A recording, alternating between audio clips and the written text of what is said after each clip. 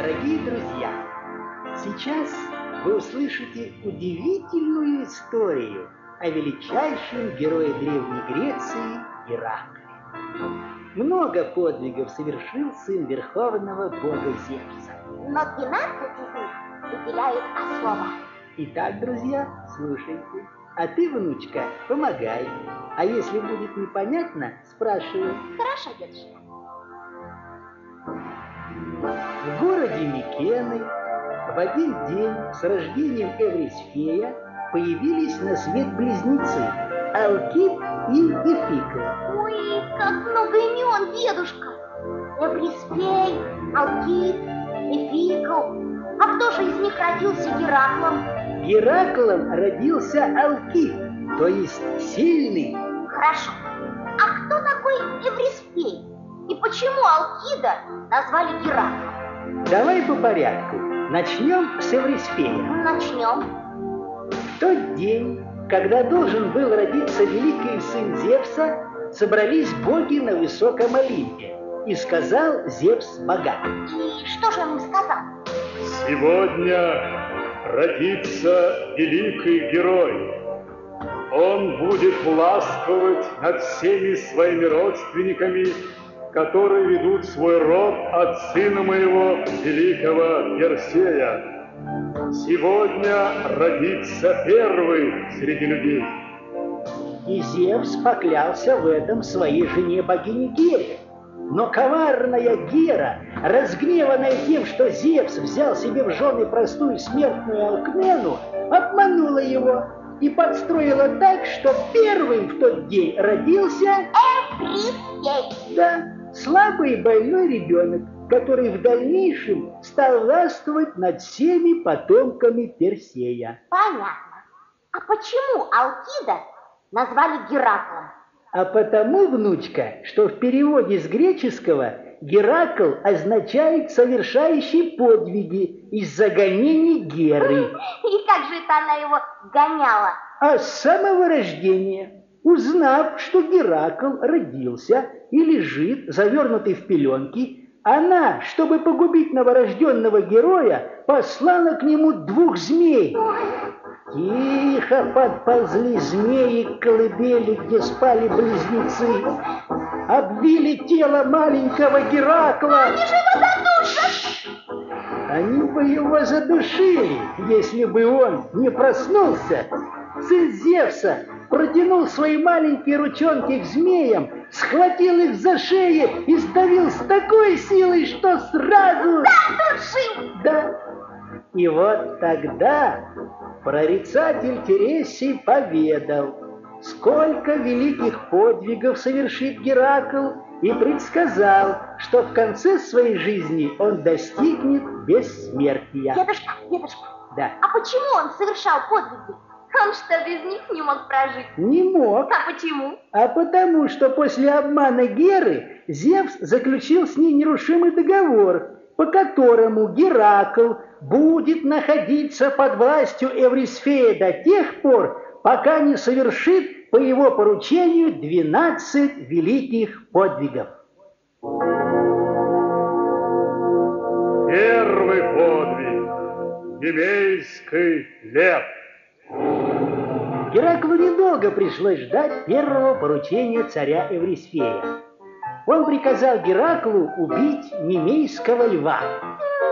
Этот лев был чудовищной величины. Ну? Он жил около города Немеи и опустошал его окрестности. Подумаешь. Логово льва находилось в огромной пещере, имевшей два выхода. А Геракл завалил один из выходов камнями и стал ждать. Когда уже надвигались сумерки, показался чудовищный лев с длинной косматой гривой. Стрелы выпустил во льва Геракл и... Но стрелы отскакивали от его шкуры. А он еще три выпустил. Ой! Грозно зарычал лев.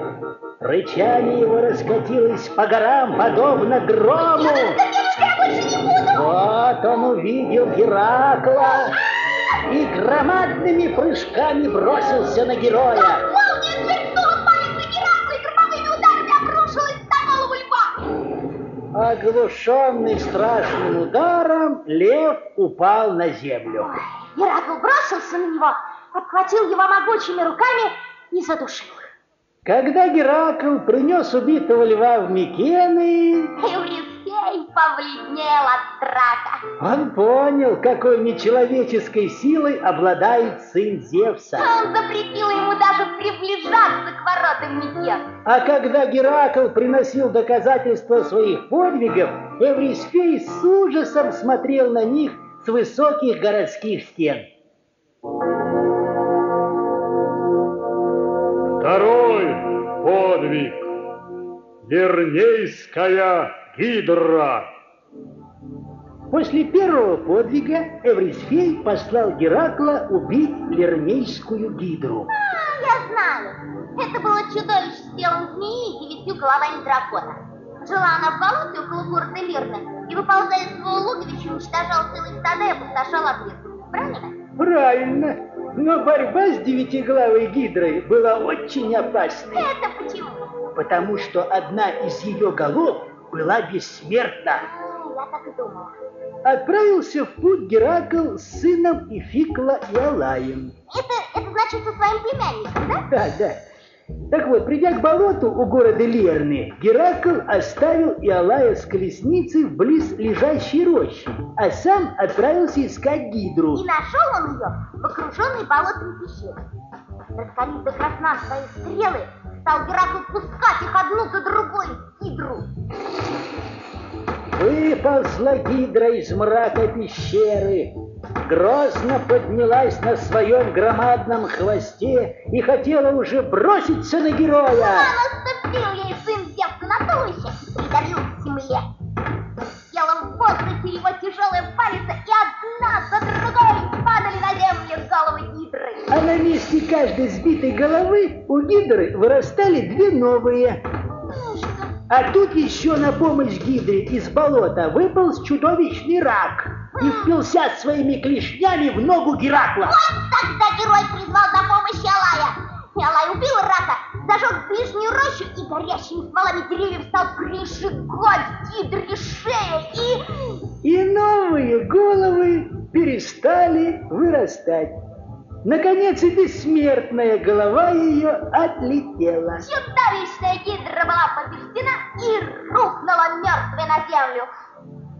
Глубоко зарыл ее бессмертную голову победитель Геракл и навалил на нее громадную скалу. Чтобы не могла она опять выйти на свет. Затем рассек герой тело Гидры и погрузил в ее ядовитую желчь свои стрелы. С тех пор раны от стрел Геракла стали смертельными. Великим торжеством вернулся Геракл. Но там его ждало уже новое поручение. Какое? Стимфалийские птицы. Третий подвиг.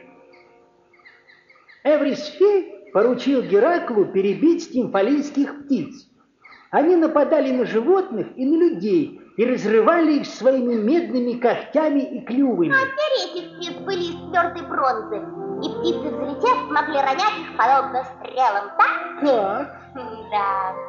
Трудно, наверное, было Гераклу выполнить это поручение. трудно, внучка. И если бы не помощь Афины Паллады, Ну, а это кто такая? Афина Паллада – дочь верховного бога Зевса, богиня плодородия и мирного труда, повелительница туч и молний. Более подробно я расскажу о ней в нашей следующей встрече. Ну, хорошо, хорошо, дедушка. Ну, что же было дальше-то? Ну, как помогла Гераклу Афина Паллада? Она дала Гераклу два медных тимпана. Чего она ему дала? Два медных тимпана, ну, иными словами, две медные тарелки, которые выковал бог-кузнец Гефест. Ну, так бы сразу и сказал. Так вот, дала она их Гераклу и велела встать на высоком холме у того леса, где гнездились тимфалийские птицы, и ударить в тимпаны. Так и сделал Геракл. Не поднял до такой оглушительный звон, что птицы громады стаи взлетели над лесом и стали в ужасе кружиться над ним. Бронзовым дождем сыпали они острые, как стрелы, перья на землю, но не попадали перья в стоящего на холме Геракла. А он как хватит свой лук и давай разить птиц смертоносными стрелами. Страхи взвелись за облака стимфалийские птицы. Улетели они далеко за пределы Аж на Греции. берега Черного моря и больше никогда не возвращались. Так исполнил Геракл это поручение Эврисфея и вернулся в Микены. Но тотчас же пришлось ему отправиться на еще более трудный подвиг. Какой дедушка? Киренейская лань. Четвертый подвиг. Эврисфей знал, что в Аркадии живет Киренейская лань, посланная богиней охоты Артемидой в наказание людям. Лань эта опустошала поля. Эврисфей велел Гераклу поймать ее живой и доставить в Микены. Эта лань была необычайно красива.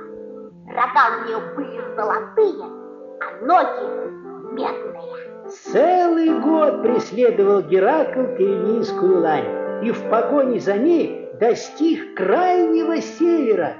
Здесь он увидел лань, хотел схватить ее, Но ускользнула она, и как стрела понеслась назад, на юг. и опять началась погоня.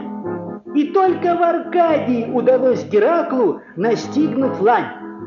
Он ранил ее в ногу, взвалил на плечи и хотел уже нести златорогую лань в Микены, как вдруг Предстала пред ним разгневанная Артемида и сказала, Разве не знал ты, Геракл, что лань это моя?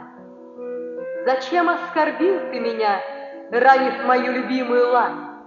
Склонился Геракл перед прекрасной богиней и ответил. О, великая Артемида, не вини меня. Не по своей воле преследовал я твою лань, а по повелению Эврисфея сами боги повелели мне служить ему. Артемида простила Гераклу его вину, и великий сын Зевса принес живой в Микены Киренейскую лань и отдал ее Еврисею. Пятый подвиг. Эриманский кабан. Недолго отдыхал Геракл после охоты на медноногую лань. Что, Еврисей опять дал ему поручение? Да, и на сей раз Геракл должен был убить эриманского кабана. А, я знаю. Этот кабан обладал чудовищной силой, жил на горе Ириманце, опустошал окрестности и убивал людей своими огромными клыками. Хм, Молодец. подумаешь. Так вот, Геракл отправился к горе Эриманфу, а по дороге навестил он мудрого кентавра Фола. Кого он навестил? Кентавра – это такое фантастическое существо, эм, конь с торсом человека, понимаешь? А, понимаю. Так вот, этот конь устроил для Геракла пир. Во время пира кентавр открыл большой сосуд с вином. Далеко разнеслось его благоухание, и страшно рассердились кентавры на Фола, Почему?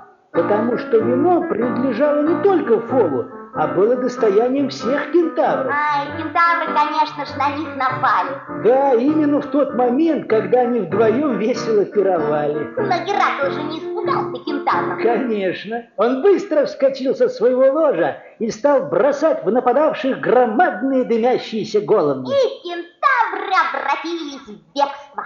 А Геракл разил их своими смертоносными стрелами. Он преследовал их аж до самой Малеи. Там укрылись кентавры у друга Геракла Хирона, мудрейшего из кентавров. Следом за ними в пещеру ворвался Геракл. В гневе натянул он свой лук, сверкнула в воздухе стрела и вонзилась в колено одного из кентавров. Не врага поразил Геракл, а своего друга